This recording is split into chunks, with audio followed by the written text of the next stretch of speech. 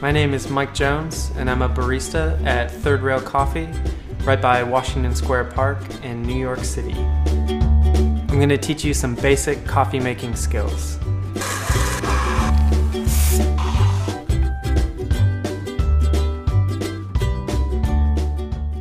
All right, so you have the green beans. It's been harvested, processed from the country, and now it's at a roaster. It's still not ready to be drank. Um, what this goes through is a process that is, uh, it involves adding heat to the bean, slowly, basically cooking it in order to get it to uh, the desired temperature and bring out everything that you want out of the bean.